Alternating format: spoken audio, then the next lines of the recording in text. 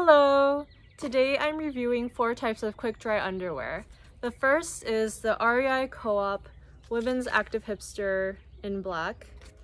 And there's no obvious labeling on the outside of this pair of underwear.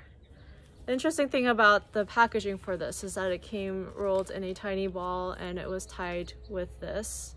The next two are from Patagonia.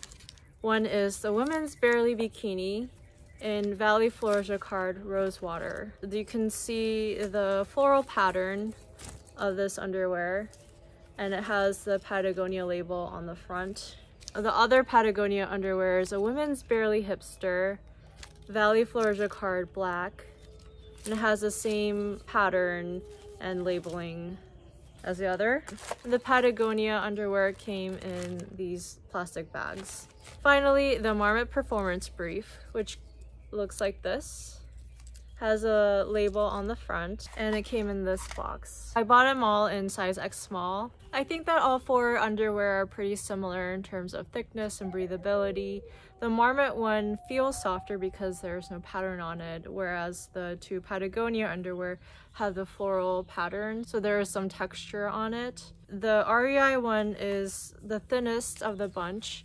It has these little holes in the material I guess for breathability. But the gussets, or where the crotch is, are all pretty solid fabrics. They're not thick, they're not like period underwear, but they're different from the bodies of the underwear. For example, this is the REI underwear. You can see that there are holes, but then it becomes a thicker cloth. Same with the Patagonia. There's a pattern, but then it becomes the gusset.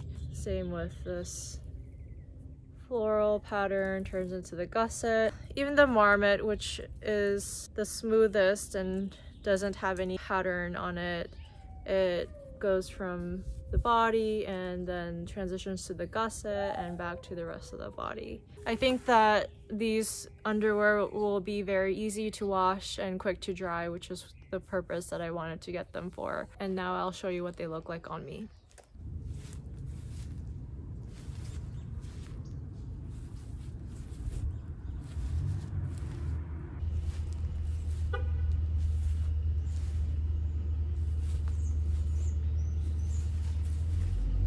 The sizing and the fit of the underwear are comfortable on me so I think that X small is appropriate size for my measurements and to go any larger especially since underwear does stretch out over time would be too big on me. That's my review of these four underwear. I hope that it's helpful to you in some way.